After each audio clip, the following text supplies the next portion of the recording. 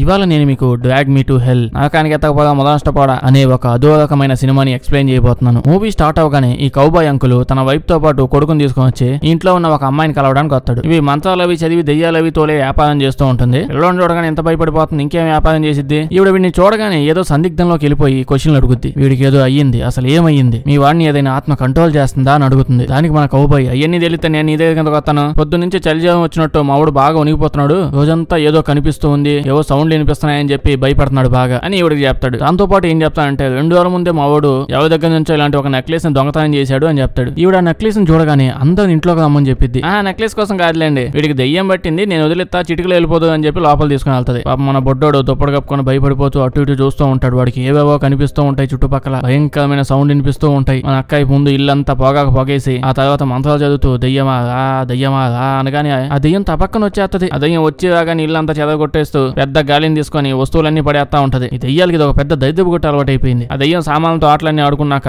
మన బొడ్డోని పట్టుకొని అలా పై నుంచి కింద పడేస్తుంది ఆ సేపటికి అక్కడ ఉన్న నేలంతా ముక్కలు ముక్కలు అయిపోయి అదేదో లావా కింద ఉంది అన్నట్టు ఆ నేలంతా విడిపోతూ ఉంటుంది. ఆ ఓపెన్ అయిన నేలలోకి బొడ్డోడు సడన్గా లోపలికి వెళ్ళిపోయి ఆ నేల మొత్తం క్లోజ్ అయిపోద్ది. పాపం ఈవిడ వాడిని కాపాడలేకపోయానని చెప్పి ఎంతో బాధగా కోపంగా చూస్తూ లాస్ట్గా దెయ్యంతో సీరియస్గా చెప్పిద్ది. మనం మళ్ళీ కలుస్తామని అని అనుకోగానే సీన్ కట్ అయిపోద్ది. ఇప్పుడు మనం ప్రజెంట్ టైంలోకి వచ్చేస్తాం ఈ సినిమాలోని మన హీరోయిన్ ఏమో క్రిస్టిన్. మన పెద్దకాయ బ్యాంక్లో పనిచేస్తూ ఉంటుంది. ఈవిడ పని ఏంటంటే లోన్లు ఇవ్వడం లోన్లు తీసుకోవడం. అంటే అది ఇచ్చిన వాళ్ళ దగ్గర నుంచి వెనక్కి తీసుకోవడం. తను తన పనిని ఎంతో సిన్సియర్గా శ్రద్ధ భక్తులతో చేస్తుంది అన్నట్టుగా మనకు చూపిస్తారు ఒక రోజు మన అక్కయ్య తన బాస్ దగ్గరికి వెళ్ళి నా శ్రద్ధా భక్తులను ఎప్పటి నుంచో చూస్తున్నావు కదా? నాకు సీనియర్ అసిస్టెంట్ పోస్ట్ ఎప్పుడు ఇస్తావు? నాకు ప్రమోషన్ ఎప్పుడు ఇస్తావు? అని అడుగుద్ది. దానికి మిడిగుడ్ల బాస్ కూడా ఏం చెప్తాడంటే నువ్వు నిజంగా డిజర్వ్ చేస్తే నీకు ఆ పోస్ట్ వచ్చేస్తుంది. అయితే నీతో పాటు ఇంకొకరిని కూడా జాబ్లో హైర్ చేశాను. వాడు నీకంటే బాగా పనిచేస్తే వాడిని సీనియర్ అసిస్టెంట్ చేసేస్తా అని చెప్తాడు. లంచ్ టైంలో మన పెద్ద అక్కని కలవడానికి తన బాయ్ ఫ్రెండ్ వస్తాడు. చూడడానికి ఇంటర్మీడియట్ స్టూడెంట్ లా కనిపిస్తున్న ఇతను ఒక పెద్ద కాలేజ్లో ప్రొఫెసర్. మనోడికి బిల్లలు కలెక్ట్ చేయడం అంటే చాలా ఇష్టం. అంటే అదే కాయిన్స్ కలెక్ట్ చేస్తూ ఉంటారు కదా. వీడి కోసమే మన పెద్ద ఒక కొత్త కాయిన్ని తీసుకొని వచ్చేస్తుంది ఆ కాయిన్ని లాక్కొని మన పెద్ద అక్కాయి తెచ్చిన లంచ్ బాక్స్ మొత్తం తినేసి అక్కడి నుంచి వెళ్ళిపోతాడు. నెక్స్ట్ సీన్లో మన పెద్ద చూస్తూ ఉండగానే తన కళ్ళ ముందే ఆ కొత్తగా వచ్చినాడు మన బాస్ని ఇంప్రెస్ చేయడానికి సర్వ ప్రయత్నాలు చేస్తూ ఉంటాడు. అంటే ఆయన కూడా ప్రమోషన్ కావాలి కదా. చూడండి ఏదో చూపిస్తున్నాడు కాగితాల్లో మన పెద్ద అక్కాయికి అదంతా చూస్తుంటే నచ్చడం లేదు. ఎందుకంటే బ్యాంకు పెట్టిన దగ్గర నుంచి మన అక్కాయి ఎంతో కష్టపడి ఈ బ్యాంకు కోసమే కష్టపడి పనిచేస్తూ ఉంది. ఇప్పుడు ఎవడో సడన్గా కొత్తగా వచ్చి ఆ పొజిషన్ వాడు గుండె అడ్డం పెడితే నచ్చదు కదా? ఏం చేయాలని ఆలోచిస్తూ ఉంటది. సడన్గా ఒక ముసలావిడ అక్కడికి వచ్చింది ఇవి చూడడానికి కొంచెం భయంకరంగా ఉంటుంది. ఆ పగిలిపోయిన గోళ్ళు ఒంటి కన్ను అవన్నీ చూసి మన పెద్దకాయ కూడా భయపడిపోద్ది. ఇవిడ ఎందుకు వచ్చిందంటే ఆ బ్యాంక్లో ఇవిడ హోమ్ లోన్ తీసుకుంది. హోమ్ లోన్ కట్టే టైం అయిపోతుంది. అది కట్టడానికి ఇంకొంచెం టైం ఎక్స్ట్రా కావాలని చెప్పి టైం ఎక్స్టెండ్ చేయమని అడగడానికి వస్తుంది. మన పెద్దకాయ డాక్యుమెంట్లన్నీ లాక్కొని ఆ బాస్ దగ్గర పోయి ఇడిగొడ్లోడా? ఇది పరిస్థితి. ఏం చేయమంటావు చెప్పు అని అడిగిద్ది. అప్పుడు ఇడు తొక్క ఈడికి కూడా ఏం తెలియదు ఏం చేయాలో? అందుకోసం ఏం చెప్తాడంటే ఇలాంటి చిన్న చిన్న విషయాల నుంచే నేను నిన్ను సీనియర్ అసిస్టెంట్ని చెయ్యాలా? వద్దా? అని డిసైడ్ అవుతాను. నేను ఇది ఒక టెస్ట్గా నీకు వదిలేస్తాను నువ్వే కరెక్ట్ డెసిషన్ తీసుకొని ఏం చేయగలవో చేసి నాకు చూపించు అని చెప్తాడు. బాగా ఆలోచించి తన దగ్గర ఇంకా ఏం అవకాశం లేక అక్కడికి వెళ్ళి ఆవిడ చెప్పింది సారీ అండి నేను ఈ టైం ఎక్స్టెండ్ చేయలేను అని. బ్యాంకు పాలసీ బట్టి మీరు తొందరగా కట్టేయాలని చెప్పింది మన పెద్దకాయ కొంచెం హెల్ప్ చేసే టైపే కానీ ఆ మిడిగుడ్లు బాస్ కూడా పెట్టే ప్రసాద్ తట్టుకోలేక ఇలాంటివి చేయాల్సి వస్తుంది. ఇప్పుడు ఒక్కసారిగా బాధపడిపోయి నేనేం కావాలని చేయట్లేదు నా పొజిషన్ బాగాలేదు అందుకే టైం ఎక్స్టెండ్ చేయమని చెప్తున్నాను మీరు ఏదో ఒకటి చెయ్యాలి అని చెప్పి అడిగిద్ది. పెద్దక్కాయ నేను ఏం చేయలేను మీరు కట్టాల్సిందే అనేది నేను వెళ్ళను అని ఆవిడ గోల్ చేస్తుంటే పెద్దక్కాయ సెక్యూరిటీని పిలిపించింది ఈ లోపు ఆ ముసలావిడ పైకి లేసిద్ది ఆ కష్టంలో ఆవిడ కింద పడిపోద్ది. ఈ ముసలావిడ ఏమనుకునిద్దంటే ఈ పెద్దక్కాయ కావాలని వీళ్ళందరి ముందు నన్ను అవమానపరిచింది. అని ఆలోచించి చూస్తూ చూస్తూగానే వింతగానే బిహేవ్ చేయడం స్టార్ట్ చేసిద్ది. నువ్వు నన్నే అవమానించావు కదా? ఇంకొన్ని రోజుల్లో నీకు ఏమయ్యిద్దో చూడు. ఇంకొన్ని రోజుల దాకా అక్కడ ఎందుకు? కాదు నేను ఇప్పుడే వేసేస్తా అని చెప్పి మీదకి వచ్చేస్తుంది ఇంకొంచెం ఉండుంటే ఆ పదునైన గోలతో పెద్దకాయ నాజూకు మెడను కోసేసి ఉండేది. సెక్యూరిటీ వాళ్ళు ఆవిడని తీసుకొని బయటికి తీసుకొని వెళ్ళిపోతుంది సీన్ కట్ చేస్తే సాయంత్రం అయిపోయి ఉంటుంది. పెద్దక్క ఇంటికి వెళ్దామని కారు దగ్గరికి వస్తూ ఉంటుంది. ఏదో తెచ్చుకుంటున్నట్టుంది బంగాళదుంపలు అనుకుంటా. ఏదో ఒకటి కారు డోర్ ఓపెన్ చేసి లోపలికి వచ్చి కూర్చొని ఇంటికి వెళ్దాం ట్రై చేస్తే సడన్గా కావులో ముసలావిడ కూర్చొని కనిపిస్తుంది. ఇప్పుడు మరి పిహెచ్డి చేసినట్టుందిగా మంత్రాల్లో. కారు లోపలికి కట్టి వెళ్ళిపోయింది? లిఫ్ట్ కావాలంటే అడుగుతావు కానీ బలవంతం లోపలికి వెళ్ళిపోతారా? పెద్దకాయ లిఫ్ట్ ఇవ్వనని చెప్పిందో ఏమో కానీ ఈ ముసలావిడ మెడకాయ పట్టేసుకొని తంపేద్దాం ట్రై చేస్తూ ఉంటది. కానీ మన పెద్దకాయ ఎలాగోలా కింద మీద పడి ఆవిడ నుంచి తప్పించుకొని ఒక తన్ను తన్ని ఆవిడ కాలు నుంచి బయట దోలేస్తుంది ఇంకోసారి లిఫ్ట్ అడిగితే మూది పళ్ళు ఆలగొడతా అని చెప్పింది ఆవిడ చూడడానికే ముసలావిడలా ఉంది. రోజుకు పది రోజులు సరిపడా తింటది. పెద్ద బండ అయితే ఆ కాలు పగలగొట్టేసి లోపల ఉన్న మన పెద్దక్కని కూడా బయటికి లాగేస్తుంది కింద పడున్న మన పెద్దక్కాయ కోట్లో నుంచి ఒక బటన్ లాగి ఆ బటన్ నోటి ముందు పెట్టుకొని ఓం బుగుని బాగోగా ఏవో మంత్రాలు చెబుతా ఉంటది. సడన్గా చూడడానికి భయంకరంగా తయారైపోద్ది. మన పెద్దక్క అలా కళ్ళు దిగి పడిపోద్ది. మెలకు వచ్చి లగ్గానే ఆ ముసలావిడ చుట్టుపక్కల ఎక్కడా కనిపించట్లేదు. మేబీ క్యాబ్ బుక్ చేసుకుని వెళ్ళిపోయి ఉంటుంది. ఐదు నిమిషాల్లోనే పోలీసులు కూడా అక్కడికి వచ్చేసి ఉంటారు. ముసలావిడ పోయేటప్పుడు కంప్లైంట్ ఇచ్చి పోయిందేమో. వాళ్ళు రిపోర్ట్ రాసుకుని అక్కడి నుంచి వెళ్ళిపోతారు. సీన్ కట్ చేస్తే పెద్దక్కాయ బాయ్ ఫ్రెండ్ వచ్చి తను కొంచెం కూల్ చేద్దామని చెప్పి సిటీ రోడ్ల మీద అటు ఇటు తిప్పుతా ఉంటాడు. బొబతిని బయటకు రాగానే పక్క షాప్లోనే వాళ్ళకి జాతకాలు చెప్పే ఒక షాప్ కనిపిస్తుంది. ఏమనుకున్నాను ఇది కూడా ఒక ప్రొఫెషనల్ జాబే. ఎవడో లైసెన్స్ తీసుకొని షాప్ కూడా పెట్టేశాడు. చూడగానే మన పెద్దక్క నేను లోపలికి వెళ్తా వెళ్తా అంటే వెళ్తా నువ్వు కూడా లోపలికి కానీ గోల్ చేస్తుంది. సర్లే అని ఇద్దరు లోపలికి వెళ్తావు లోపలికి వెళ్తే అన్ని వింత వింత వస్తువులు ఉంటాయి. అంటే అదేం కాల్ సెంటర్ కాదు కదా లోపల ఇట్లాంటివే ఉండాలి. లేకపోతే ఎవరు నమ్మదు ఈ జాతకం చెప్పి ఆయన వీళ్ళ దగ్గర నుంచి పదహారు డాలర్లు అడుగుతాడు. కానీ బాయ్ ఫ్రెండ్కి ఇదంతా నచ్చదు. అసలు ఏంది పదహారు డాలర్లు ఎందుకు ఇవ్వాలి? ఇదంతా ఫ్రాడ్ అని అడుగుతాడు. దానికి ఆ జాతకం చెప్పి ఆయన పదహారు డాలర్లు మీ అయ్యొచ్చి కడతాడా? జాబ్ చూసావు కదా నాయన? కరెంట్ బిల్లు మీ అయ్యొచ్చి కడతాడా? పదహారు డాలర్లు కూడా ఇవ్వలేవు. నీకెందుకు గర్ల్ ఫ్రెండ్ అనగానే వాడు యాభై డాలర్లు ఇచ్చేస్తాడు. మనోడు జాతకం చెప్పడం స్టార్ట్ చేస్తాడు. దానికోసం పెద్దక్కాయ చెయ్యి అడుగుతాడు. చెయ్యి పట్టుకొని అలా చూస్తూ చూస్తూ ఏంటి ఇటు చూస్తున్నాడు జాతకం అటు సైడ్ కదా చూసేది. అందుకే కోచింగ్ సెంటర్లో జాయిన్ అయ్యేటప్పుడు చూసుకొని వెళ్ళాలి. అలా కళ్ళు మూసుకొని చెయ్యి పట్టుకొని చూస్తూ చూస్తూ సడన్గా షాక్ అయిపోయి వెనక్కి వెళ్ళిపోయి వాళ్ళ డబ్బులు వాళ్ళకి ఇచ్చేసి మీరు ఇక్కడి నుంచి వెళ్ళిపోండి. నువ్వు చాలా జాగ్రత్తగా ఉండాలి. మళ్ళీ షాప్ చుట్టుపక్కల ఏడ కనిపిక? అని చెప్పి వెళ్ళిపోమంటాడు. ఎందుకు? అని అడిగితే ఎవరో నీ మీద బ్లాక్ మ్యాజిక్ చేశారు అని చెప్తాడు. దాంతో పాటు నీ కోటుకు ఉండే బటన్ కూడా మాయమైపోయింది. ఆ కోటు బటన్కి శాపానికి సంబంధం ఉంది అని చెప్పి అక్కడి నుంచి వెళ్ళి తోలేస్తాడు. ఆ బాయ్ ఫ్రెండ్ గడి ఇదంతా ఫ్రాడ్ నమ్మమాక అని చెప్పి పెద్దకాయ ఇంటి దగ్గర డ్రాప్ చేసేసి అక్కడి నుంచి వెళ్ళిపోతాడు. ఇంటికి వెళ్ళిన దగ్గర నుంచి పెద్దకాయ కన్నీ వింత వింతగా జరుగుతూ ఉంటాయి. ఏవేవో శబ్దాలు వినిపించడం వింత వింత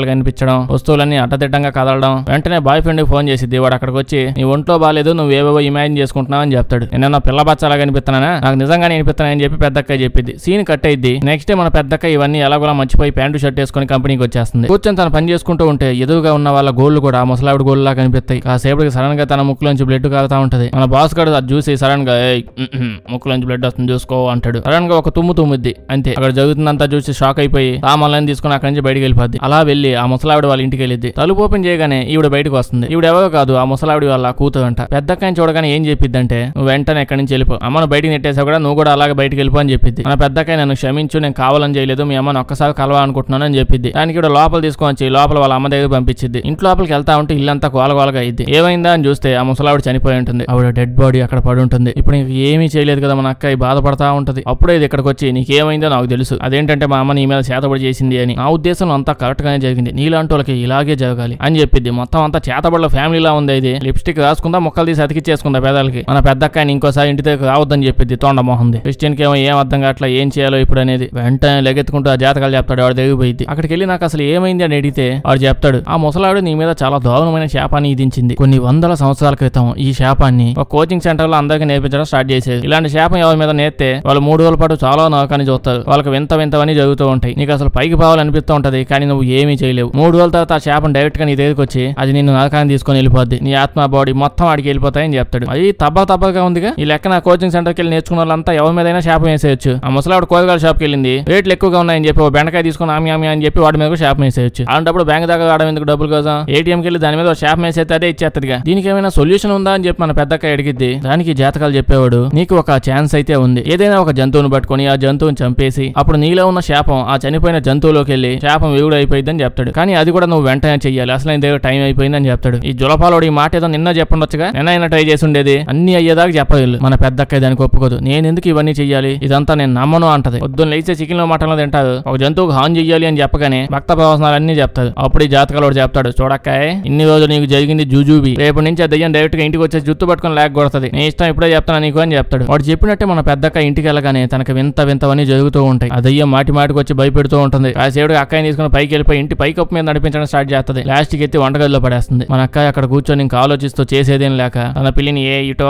ఇటో అని చెప్పి పిలిచి పక్కనే ఉన్న కత్తి తీసుకొని సైకో కిల్లర్లాగా దాన్ని వేసేస్తుంది. ఆ పిల్లిని వేసేసి శుభ్రంగా కాలు చేతులు కొడుకొని బయటకు వెళ్తుంది. అప్పుడే ఆ బాయ్ ఫ్రెండ్ కూడా వస్తాడు. ఇంకొంచెం ముందు వచ్చి ఉంటే ఈయన వేసేసేదేమో. ఈడొచ్చి పెద్దక్కకి ప్రపోజ్ చేసి నేను నిన్ను పెళ్ళి చేసుకోవాలనుకుంటున్నాను. నువ్వు ఈ నైట్ వచ్చి మా అమ్మ నన్ను కలువు అని చెప్తాడు. పెద్దక్క ఆ మాట వినగానే చాలా ఎగ్జైట్ అయిపోద్ది. ఇప్పుడు దాకా జరిగిన తప్పగాలంతా మర్చిపోయి ప్రశాంతంగా ఉండడానికి ట్రై చేస్తుంది. మంచి డ్రెస్ వేసుకొని మేకప్ వేసుకొని రెడీ అయిపోద్ది. తర్వాత ఒక అద్భుతమైన కేక్ చేసి ఇద్దరు కలిసి ఆ ఇంటికి వెళ్తారు. అందరూ గుంపుగా కూర్చొని కేక్ని ముక్కలు ముక్కలు చేసుకొని తింటూ ఉంటారు. మన పెద్దక్కయ్య కూడా ఓ ముక్క పడేస్తారు ఆ మొక్క తీసుకొని తినడానికి ట్రై చేస్తుంది కానీ అప్పటికే తనకి ఇచ్చిన ఆ బొడ్డ ముక్కలో ఆ చనిపోయిన ముసలావిడి యొక్క కన్ను కనిపించింది. ఇంట్లో నుంచి దయ్యాల సౌండ్ వస్తాయే ఆటి పిల్లగోళ మళ్ళీ మొదలుపెట్టి బ్యా బ్యా బ్యా అనేసి మళ్ళీ భయపెట్టడం స్టార్ట్ చేస్తాయి మన పెద్దక్కని చిన్న చిన్న మాటలు కూడా గట్టిగా వినిపిస్తూ ఉంటాయి. ఏమైంది అని అడిగితే తనని తను కంట్రోల్ చేసుకొని ఏమైంది? ఏమీ లేదు. మీకు పెద్ద పెద్ద సౌండ్లు వినిపిస్తున్నాయి? లేదు నాకు కూడా వినిపించలే అని చెప్తుంది. ఆ మాటలు వినగానే దయ్యానికి ఒళ్ళు మండిపోయినట్టుంది బగగుడ్డులో గొంతు చించుకొని గట్టి గట్టిగా అవుతుంటే ఏం లేదని చెప్తావే? అని హట్ అయిపోయి ఇంకా గట్టి గట్టిగా అవడం స్టార్ట్ చేస్తుంది. మన పెద్దక్కయ్య సౌండ్లు విని అసలు తట్టుకోలేకపోతుంది. ఇంకా దాని బాధ భరించలేక పక్కనే ఉన్న గ్లాస్ తీసుకొని ఎక్కడి నుంచి సౌండ్ వస్తుందో దాని కేసు కొట్టి నువ్వు మూసుకొని మూల కూర్చో ఎందుకే అవుతున్నావు ఎవడన్నా గిల్లుతున్నాడే ఏంది? అని చెప్పి పాపం ఆ దయ్యాన్ని అనగాని మాటలన్నీ అనిద్ది. అమ్ముంటే రాయ నా మీదకి చూసుకుందాం అని చెప్పి బెదిరిస్తా ఉంటది. ఈ గ్యాప్లో పాపం ఈ అత్తగారు ఇది ఏంది నన్ను ఇన్ని మాటలు అంటుంది ఏంటి? బాగా భయపడిపోయి ఏడడం స్టార్ట్ చేస్తది. మన పెద్దక్క ఎంబారెస్గా ఫీల్ అయ్యి అక్కడి నుంచి బయటికి వెళ్ళిపోద్ది. ఈ అత్తగారు తన కొడుకుతో నన్ను వదిలేయి వచ్చి దాన్ని వదిలే. చూడడానికి చాలా వింతగా ఉంది మనకు వద్దని చెప్పేస్తుంది. పెద్దక్క లగెత్తుకుంటా జాతకాలు చెప్పేవాడి దగ్గరికి వెళ్ళి అన్ని పగల కొట్టేతో ఫ్రాడ్గా నువ్వు చెప్పేవన్నీ అబద్ధాలు. నువ్వు చెప్పావు కదా బొడ్డ పిల్లిని అమానుషంగా వేసి పడేశాను. అయినా అసలు ఏమీ అవ్వలేదు. ఆ దయ్యం ఇప్పుడు కూడా ఒక్కొక్కలా కదుతూనే ఉంది అని చెప్పి చెప్తుంది. ఆ జాతకాలు చెప్పేవాడు చెప్తాడు. ఇప్పటికే చాలా లేట్ అయిపోయింది. ఇంకొంచెం ముందు చంపుండాల్సింది అంటాడు. ఆ శాపం ప్రభావం కూడా రోజు రోజుకి నీ మీద ఎక్కువ అయిపోతూ ఉంది. ఇప్పుడు మనం ఆ దయ్యంతో డైరెక్ట్గా మాట్లాడి డీల్ చేసుకోవాలి. లేకపోతే రేపే నీకు లాస్ట్ రోజు. అప్పుడు ఆ దయ్యం వచ్చి నేను ఖచ్చితంగా ఎత్తపోతుంది నేను ఏం చేయలేని చెప్తాడు. దానికి మన పెద్దక్కయ్య నువ్వు ఏదైనా చెప్పు. నేను ఏదైనా చేస్తాను. ఆ దయ్యం అదుపులు నేను తట్టుకోలేకపోతున్నా అని చెప్తుంది. ఈ జాతకం చెప్పేవాడు ఈ విషయంలో మనకి ఒక ఆవిడ హెల్ప్ చేయగలదు. కానీ ఆవిడ నాలాగా పదహారు డాలర్లు పదిహేను డాలర్లు పనిచేయదు చాలా ఎక్కువ డబ్బులు తీసుకునేది ఆవిడ. మన అక్కకి ఇన్ని డబ్బులు ఎక్కడి నుంచి తేవాలో అర్థం కావట్లా. పొద్దున్నే బ్యాంక్ వెళ్ళి ఆ మిడిగుడ్లోతో మాట్లాడిద్ది. నాకు లోన్ కావాలి చాలా అర్జెంట్. ప్రమోషన్ వచ్చిన వెంటనే తొందరగా అప్పు తీర్చేస్తా అని చెప్తుంది. దానికి మిడిగుడ్లోడు నీకెప్పుడు చెప్పాను నీకు ప్రమోషన్ ఇస్తా అని ఆల్రెడీ కొత్తగా వచ్చినోడికి ఎప్పుడో ప్రమోషన్ ఇచ్చేసాను. నెక్స్ట్ టైం ఇంకెప్పుడైనా చూసుకుందాంలే అని చెప్తాడు. ఆ దయ్యాన్ని తీసుకొచ్చి మిడిగుడ్లోని పట్టించాలి ముందు. పాప మన పెద్దకై బాగా బాధపడుతూ ఉంటుంది. వెంటనే ఇంటికి వెళ్ళి తన సామాన్లన్నీ అమ్మేస్తూ ఉంటుంది. ఎంత అమ్మినా సరే తనకు కావాల్సిన డబ్బులు ఇంకా రాలేదు. ఇప్పుడు ఏం చేయాలో ఏమీ అర్థం కావట్లేదు. కరెక్ట్గా అదే టైంకి ఆ బాయ్ ఫ్రెండ్ కూడా అక్కడికి వస్తాడు. ఇంకో రెండు రోజులు ఆగాక కావాల్సింది. ఇది జరిగిందంతా చెప్పి నాకు ఇన్ని డబ్బులు కావాలంటది. దానికి వీడు నేను వీటన్నిటిని అస్సలు నమ్మను. ఆ జులపాలోని అసలుకే నమ్మను. కానీ నువ్వు నా గర్ల్ ఫ్రెండ్ కాబట్టి నీకు డబ్బులు ఇస్తున్నాను నీకు డబ్బులు అవసరం వచ్చిన టైంకి నేను కరెక్ట్గా వెళ్ళిపోయినా నువ్వు ఎప్పుడు అనుకోకూడదని ఇస్తాను అని అంటాడు. దరిద్రుడు కండిషన్లు పెట్టిస్తున్నట్టున్నాడు ఏదైతే డబ్బులు వచ్చాయిగా పెద్దక్క హ్యాపీ డబ్బులన్నీ తీసుకొని జులపాలతో పాటు ఆవిడ దగ్గరికి వెళ్తాడు. ఇల్లంతా చూడడానికి ఏదో పాడు పడిపోయినట్టుంది. ఒక్కో క్లయింట్ దగ్గర నుంచి అన్ని డబ్బులు తీసుకుంటాను. డబ్బులన్నీ తీసుకొని ఏం చేస్తుంది? ఫిక్స్డ్ డిపాజిట్ వేస్తుంది ఏంది? అలా తను లోపలికి వెళ్తూ ఉంటే అప్పుడే మనకు అర్థమైంది. ఆ ఇల్లు ఏదో ఇల్లు కాదు సినిమా స్టార్టింగ్లో చూపించిన ఇల్లు. లోపలికి వెళ్ళాక మనకి ఆ పిహెచ్డి కంప్లీట్ చేసిన మంత్రగత కనిపించింది. ఇప్పుడు ఎవరో కాదు సినిమా స్టార్టింగ్లో వచ్చింది ఆవిడ ఈవిడ. అదే ఆ బొట్ట పిల్లని కాపాడలేకపోయింది. ఆ దయ్యానికి వార్నింగ్ కూడా ఇస్తుంది నీ అంతు నేనే చూస్తా అని. ఈవిడ ఆ రోజు రివెంజ్ ప్లాన్ చేసినట్టు లేదు ఏదో బిజినెస్ ప్లాన్ చేసినట్టుంది. అంటే ఆవిడ ఆ రోజు ఇంటెన్స్గా చెప్పింది కదా నీ పని అయిపోయిందని చెప్పి. ఇప్పుడు ఏమో అమీపేటలో పాంప్లెట్ అమ్మి బిజినెస్ చేస్తుంది. వచ్చిన మన పెద్దక్కకి డీటెయిల్ చెప్తూ ఉంటది. చిన్నప్పటి నుంచి ఎలా పెరిగింది ఆ రోజు ఏం జరిగింది బొడ్డోని కాపాడలేదని ఇప్పటి కూడా క్షమించలేకపోతున్నాను అసలుకే టైం లేదంటే మళ్ళీ పురాణాలు అవసరం పెద్దక్క పెద్దక్కయ్య దగ్గర. ఏదైతే లాస్ట్కి పెద్దక్కయ్యకి ప్రామిస్ ఇచ్చింది ఏది ఏమైనప్పటికీ నేను నిన్ను ఇలా కాపాడి తీరుతా. ఇప్పుడు అందరిని నా ప్లేస్కి తీసుకొచ్చింది అదే ఆ బొడ్డోడు అక్కడ పడిపోయి భూమి లోపలికి వెళ్ళిపోయాడే అక్కడికి తీసుకొని వస్తుంది. నలుగురు కలిసి ఆ ప్లేస్కి ఇప్పుడు వస్తారు. ఏంటి ముగ్గురే కదా నలుగురు అంటున్నావేంటి అనుకుంటున్నారా మీకు ఆ నాలుగోడు కనిపించలే అంటే ఆ శాపం మీకు కూడా తగిలింటే అదేం లేదులేండి. ఆ నాలుగోడు పక్కనే కిచెన్లో మటన్ వండుతున్నాడు. ఈ ముగ్గురుతో పాటు ఈడే ఆ నాలుగోడు ఈడ ముసలావిడ దగ్గర అసిస్టెంట్గా పనిచేస్తూ ఉంటాడు. ముసలావిడ అసిస్టెంట్తో చెప్పిద్ది పొద్దున్న తీసుకొని వచ్చిన మేకను తీసుకొని రామని అయ్యో నేను ఎప్పుడో మటన్ వండేసాను కదా దాన్ని అని చెప్తాడు. దానికి ఇవిడ నీ గురించి నాకు బాగానే తెలుసు. అందుకే నేను రెండు మేకలు తెచ్చాను. ఇంకో మేకని ఎత్తగా అని చెప్తాడు. ఆ మేక అక్కడికి రాగానే మన పెద్దక్కకి డీటెయిల్స్ అన్ని చెప్పింది ఇప్పుడు నేను కొన్ని మంత్రాలు చదవడం స్టార్ట్ చేస్తా. ఆ మంత్రాలు స్టార్ట్ అవగానే నీ బాడీలోకి ఆ దయ్యం వచ్చింది ఆ దయ్యం ఇక్కడికి వచ్చింది అని నీకు కనిపిగానే వెంటనే ఆ మేక మీద చెయ్యేసి ఆ మేక ఏంది అట్ట చూస్తుంది? ఎవరిని చూస్తుంది? పాపం బాగా ఇన్నోసెంట్ మేకలా ఉంది. నువ్వు ఈ మేక మీద చేయి పెట్టగానే ఆ దయ్యం వెంటనే మేక లోపలికి వెళ్ళిపోద్ది. అసిస్టెంట్కి వెంటనే పక్కనే ఉన్న మటన్ కత్తిచ్చి ఈ మేకలోకి దయ్యం వచ్చింది అని నీకు అనిపిగానే ఈ కత్తితో మేకని కైమా చేసేయి. కానీ ఆత్మ ఎక్కువైపోయి మటన్ వండుకుందామని చెప్పి దయ్యం రాకముందే నువ్వు వేసేయకు. ఆ దయ్యం వచ్చాకే వెయ్యి అని చెప్తుంది. అందరూ అక్కడ కూర్చొని అంతాక్షరి ఆడుకోవడానికి ఒక చేతిలో ఒకటి పట్టుకొని ఉంటుంది. వాళ్ళు ఆట ఆడుతూ ఉన్నప్పుడు ఆటలోకి దయ్యాన్ని రాణించుకోలేదని చెప్పి ఒక్కసారిగా కోపంతో దయ్యం వచ్చేస్తుంది. వచ్చిన దయ్యం రూల్స్ పాటించకుండా అంటే మన అక్కాయి బాడీలో కాకుండా ముసలావిడి బాడీలోకి వెళ్ళింది అప్పుడు ఆ జాతకాలు చెప్పేవాడు అడుగుతాడు ఎవరు నువ్వు? ఇలా ఉన్నావంటే ఎందుకు వచ్చావు? అని అడుగుతాడు. దానికి దయ్యం నాకు ఈ క్రిస్టియన్ కావాలి అని తన చేయితో పెద్దక్కని వేసైపోతుంది వెంటనే పెద్దక్క చేయి తీసుకుని ఈ మేక మీద పెట్టించేస్తుంది ఒక్క నిమిషం ముందు ఎంతో అమాయకంగా కనిపించిన ఈ మేక ఒక భయంకరమైన మేకలా మారిపోద్ది. ఈ ఎలి మొహంగాడు ఆ మేక కూర్చొని అన్ని డైలాగ్ వేస్తుంటే ఈడు మాత్రం ఏం చేయట? ఉడ్లాపకని చూస్తూనే ఉన్నాడు మేకను మాత్రం చంపట్ల. ఈ జాతకాలలో ముందు దాన్ని ఎయ్యా అని చెప్పగానే లెగిసి కత్తి తీసుకొని కానీ అది మటన్ కూర అవ్వడానికి రెడీగా ఉన్న పాత మేక కాదు. అది తప్పించుకొని వాడు చేయి కొరికేస్తుంది అప్పుడు వెంటనే ఆ దయ్యం మేకలోంచి అసిస్టెంట్ లోపలికి వెళ్ళిపోద్ది. దీని ఎలి దయ్యం అవుట్ ఇచ్చుకుని ఆట ఏమైనా ఆడుతుందా ఏంది? ఎవరు టచ్ చేస్తే వాడు లోపలికి వెళ్ళిపోతుంది? తల్లి ఏదో ఒక ఆట ఆడుతుందిలేండి. అసిస్టెంట్ గారు లేచి పెద్దక్కని వేసేయబోతాడు. అప్పుడే ఆ ముసలావిడ లేచి వాడి బాడీ నుంచి దయ్యాన్ని బయటికి తోలేస్తుంది అంత శక్తి ఒకేసారి ఉపయోగించడం వల్ల మన ముసలావిడ తట్టుకోలేక అక్కడే పడి చచ్చిపోద్ది. ముసలావిడికి ఇచ్చిన ఎలివేషన్కి ఇంకేదో చేసిద్ది అనుకున్నా. ఇదంతా చూసి పెద్దక్కై బాగా ఫీల్ అయిపోతుంది. నా వల్ల ఎంతమంది పోతున్నారని. అలాగే తనకున్న లాస్ట్ ఛాన్స్ కూడా పోయింది ఇప్పుడు. ఈ జాతకాలు చెప్పేవాడు అప్పుడు చెప్తాడు. మన దగ్గర ఇంకా ఒకే ఒక్క లాస్ట్ ఛాన్స్ ఒకటి ఉందని. ఏ బటన్ మీద అయితే ఆ ముసలావిడ అబ్బా తప్ప మంత్రాలన్నీ చదివి చెప్పించి నిన్ను చెప్పించిందో ఆ బటన్ తీసుకొని ఏదో ఒక ఎన్వలప్ ఏదో ఒక లెటర్లో వేసి దాన్ని ఎవరో ఒకరికి ఇచ్చేయి. అప్పుడు ఈ శాపం నీ మీద నుంచి ఇంకొకరి మీదకి వెళ్ళిపోయిద్ది అని. ఈడు జొలపాలోడు ఇన్ని ఇన్ని సింపుల్ సొల్యూషన్లన్నీ పెట్టుకొని అన్ని లాస్ట్లో చెప్తుంటాడు ఈడు. ఆ బాయ్ ఫ్రెండ్ గాడు ఆ రోజు అన్న మాటలు బాగా హర్ట్ అయినట్టున్నాడు. పెద్దక్కాయ బాయ్ ఫ్రెండ్తో పాటు వెళ్తూ ఉంటది. తన దగ్గర ఆ ఎన్వలప్ అందులో ఆ బటన్ కూడా పెట్టి ఉంటది. వీళ్ళు అలా పెద్దక్క ఇంటికి వెళ్తూ ఉన్నప్పుడు సడన్గా దయ్యం వచ్చేసిందేమో అన్నట్టు ఎవడో రోడ్డుకి అడ్డంగా వస్తాడు వాడు సడన్ బ్రేక్ వేస్తాడు ఏదో వచ్చినాడు సైడ్ నుంచి వెళ్ళిపోతాడు. వాళ్ళ ఇంటి దాకా వెళ్ళిపోతాడు. తర్వాత వీడు పెద్దక్కయ్యతో రేపు పొద్దున రైల్వే స్టేషన్ కదా మనం అక్కడ దిగుదామని చెప్తాడు. రైల్వే స్టేషన్లో ఏం దిగుతాడు? రోజుకి ఎన్ని రైలు వస్తాయని లెక్కేస్తాడా అక్కడ కూర్చొని ఎనలో ఎవరికి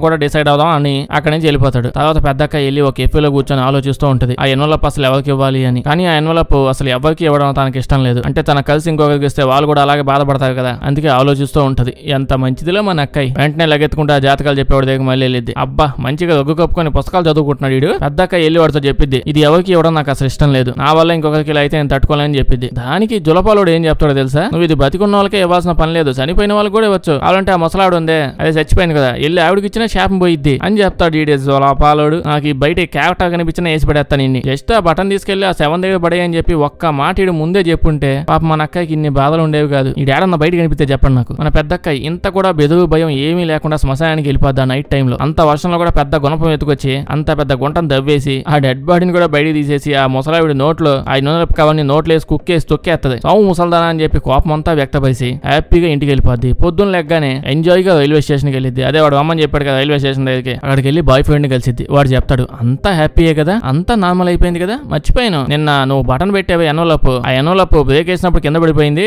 నేను తీసుకున్నాను నువ్వు వేరే ఎన్వలప్ తీసుకుని వెళ్ళావు ఇంటికి అని చెప్తాడు. ఆ ఎన్వలప్ ఆ బటన్ చూడగానే షేక్ అయిపోద్ది అక్క ఎందుకంటే ఆ రోజే లాస్ట్ రోజు తనకి ఇచ్చిన టైం కూడా అయిపోయింది. భయంతో సపక్క నీళ్ళు రైల్వే ట్రాక్ మీద పడిపోద్ది. సడన్గా అలా సెకండ్లో ఎక్కడి నుంచి వచ్చిందో ఏమో ట్రైన్ పక్క నుంచి అలా వచ్చేస్తుంది. కానీ లాస్ట్కి ఆ రైలు వచ్చి కూడా కుద్దదు ఈ గ్యాప్లోనే ఆ దెయ్యం పైకి వచ్చేసి నువ్వు నా చేతుల్లోనే సావాలని నేలలోంచి నిప్పులు కక్కుకుంటూ బయటకు వచ్చి మన పెద్దక్కైన ఆ నేల లోపలికి లాగేస్తూ ఉంటుంది. పాపం మనోడు బాధపడుతూ చూస్తుండగానే ఆ దెయ్యం అలా పట్టుకొని లోపలికి వెళ్ళిపోద్ది. మనోడు ఏడుస్తూ ఉండిపోతాడు. ఈ బట్టన్ ఏదో ముందే తెచ్చుంటే పోయేదే అని చెప్పి అలా మన కళ్ళ ముందే పెద్దక్కయ్య లోపలికి వెళ్ళిపోద్ది.